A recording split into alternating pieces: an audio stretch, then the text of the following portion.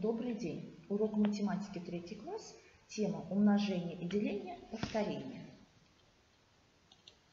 Устный счет. Объясни, почему верны равенство. 7 умножить на 14 равно 14 умножим на 7. У нас и левая и правая часть равны, так как Э, используются одинаковые множители. С вами знаем закон от перестановки множителей произведение не меняется. То есть множители 7 и 4, 14 поменяли местами. Второй пример. Скобка открывается. 6 плюс 7 умножить на 5 равно 6 умножить на 5 плюс 7 умножить на 5. То же самое равны мы 5 умножили на каждое слагаемое из суммы. Третий пример. 28 умножить на 1 равно 28. Вспоминаем правило умножения любого числа на 1. Получается то число, которое мы умножали. Следовательно, правая часть равна левой части. Следующее. 49 умножить на 0. Опять же вспоминаем правило умножения на 0. При умножении на 0 любого числа получается всегда 0. Значит, у нас левая часть будет равна правой и получится 0. И последний пример. 0 разделить на 17 равно 0. Опять же, еще одно правило, которое мы с вами учили ранее. Когда 0 делим на любое число, получается всегда 0. Повторили с вами правила, которые умножение на 1, на 0, деление нуля на число. И вы должны их помнить и использовать всегда в своей работе. Переходим к задачам. Также устный счет. В одной неделе 5 рабочих дней. Сколько рабочих дней в 4 неделях? Значит, мы с вами будем, какая особенность? По 5 брать 4 раза, потому что 4 недели. 5 умножить на 4 равно 20 рабочих дней в 4 неделях. Вторая задача, устно решаем. 20 детей посадили за парту по 2 человека. Сколько парт они заняли? 20 необходимо разделить на 2, потому что сажали по 2 человека. 20 делим на 2 равно 10 пар заняли дети. Мы с вами до этого работали с действиями умножения и деления. Вспомните, как называются компоненты и результат умножения. 3 умножить на 4 равно 12. 3 – это первый множитель, 4 – это второй множитель, 12 – это произведение. Вспомним, как связан каждый множитель с произведением. 4 умножить на 2 равно 8. 8 разделить на 4 равно 2. 8 разделить на 2 равно 4. 8 – это произведение. 4 – это множитель. 2 – тоже множитель переместительные свойства умножения. Если произведение двух множителей разделить на один из них, то получится другой множитель. Этим правилом пользуетесь на уроках математики, они нужно всегда помнить. Особенно, когда мы с вами выполняем или решаем уравнения. То есть, как нам найти неизвестный множитель? Мы должны произведение разделить на известный множитель. Итак, работаем по учебнику, страница 105. Номер второй. Табличка. Как называются компоненты при умножении? Мы с вами повторили ранее. Множитель, множитель, произведение. Итак, первый множитель 8, второй множитель 7. Чему равно произведение? Вспоминаем правило. Чтобы найти произведение, необходимо множитель первый умножить на второй множитель. Равно 56. Это таблица умножения. Вторая строка. Первый множитель нам с вами неизвестен. Второй множитель – это 9. И произведение 72. Как нам найти неизвестный множитель? Мы должны произведение разделить на известный множитель. 72 разделим на 9 равно 8. И третья строчка. Первый множитель 6. Второй множитель неизвестен. Произведение 42. Как найти неизвестный второй множитель? мы должны произведение разделить на известный первый множитель. 42 разделить на 6 равно 7. Переходим к делению. 45 разделить на 5 равно 9. Вспоминаем название компонентов при делении. 45 – это делимое, 5 – это делитель, 9 – это частное. Также работаем над номером вторым. Делимую называются компонентом, сами до этого повторили, делитель и частное. Делимое 54, делитель 9. Как найти частное? Мы должны делимое разделить на делитель. 54 разделим на 9 равно 6. Второй столбец. Делимое неизвестно. Делитель 8, частное 6. Как найти неизвестное делимое? Мы должны частное умножить на делитель. 6 умножим на 8 равно 48. И третий столбец. Делимое 63. Делитель неизвестен. Частное 7. Как найти неизвестный делитель? Нужно делимое разделить на частное. 63 разделим на 7 равно 9. Справились с этим заданием. Работаем по учебнику, страница 105, номер 3, номер 5. Это устная работа. Нам нужно с вами сделать вывод и закончить предложение. Итак, если произведение разделить на один из множителей, то получится совершенно верно другой множитель. Если делитель умножить на частное, то получится делимое.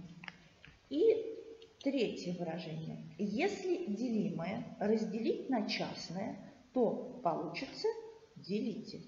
Хорошо, справились с данным заданием. Продолжаем номер пятый. Такие же высказывания, как до этого были. Чтобы найти неизвестный множитель, надо произведение разделить на известный множитель. Чтобы найти неизвестное делимое, надо частное разделить, надо частное умножить на делитель. И последнее. Чтобы найти неизвестный делитель, надо делимое разделить на частное. Вы должны помнить про эти правила, всегда ими пользоваться на уроках математики. Итак, переходим к решению уравнений. Это номер 5 под циферкой 2.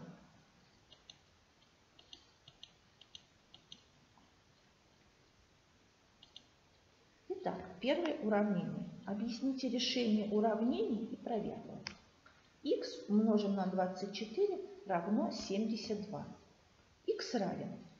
А, мы какое-то число умножили на 24 равно 72.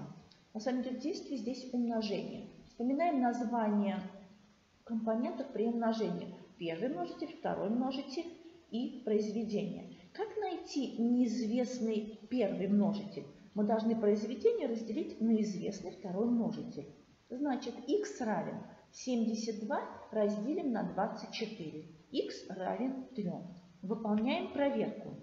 3 подставляем вместо x уже полученное число, которое мы с вами нашли. 3 умножить на 24 равно 72. 72 равно 72. Второе уравнение.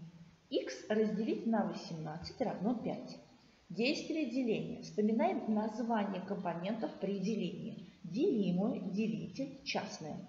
У нас с здесь неизвестно делимое, x. То есть какое-то число мы разделили на 18 и получилось 5. Как найти это неизвестное число, делимое? Мы должны частное умножить на делитель. 18 умножаем на 5, x равен 90. Выполняем проверку. 90 разделить на 18 равно 5. 5 равно 5. Уравнение решено верно. Третье уравнение. 51 разделить на x равно 17. Опять же действие деления. Вспоминаем название компонентов делимое, делитель, частное. Только в данном уравнении у нас неизвестен делитель. Как мы найдем неизвестный делитель? Мы должны делимое разделить на частное. 51 делим на 17, x равен 3. Выполняем проверку. 51 разделить на 3 равно 17. 17 равно 17. Переходим к номеру 3 со скобочкой. Реши уравнение, не вычисляй x умножить на 18 равно 18. Посмотрите внимательно. Какова особенность этого уравнения? Мы с вами вначале повторяли правило умножения на 1 и на 0. Как вы думаете, чему будет равен x в данном случае?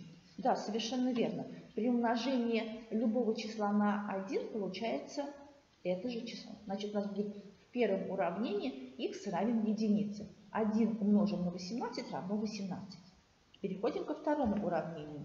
x умножим на 24 равно 0. Действие умножения. Название компонента вспоминаем. Множитель, множитель, произведения. Здесь какое-то число умножим на 24 и равно 0. Опять же, возвращаемся к началу урока. Вспоминаем правило. При умножении любого числа на 0 всегда получается 0. Значит, у нас в данном случае x равен 0. 0 умножить на 24 равно 0. Третье уравнение. 36 разделить на x равно 1. Это действие деления. Вспоминаем название компонентов делимое, делитель, частное. У нас здесь неизвестен делитель. Правило. Как найти неизвестный делитель? Мы должны делимое разделить на частное. Здесь у нас 36 разделили на какое-то число и получилось 1. Опять же, при делении самого числа на само себя получается всегда единица. Следовательно, здесь будет x равен 36. 36 разделить на 36 равно 1. И последнее уравнение. x разделить на 1 равно 17. Вспоминаем правило умножения на 1. 17 разделить на 1 равно 17. Хорошо, справились с данным заданием.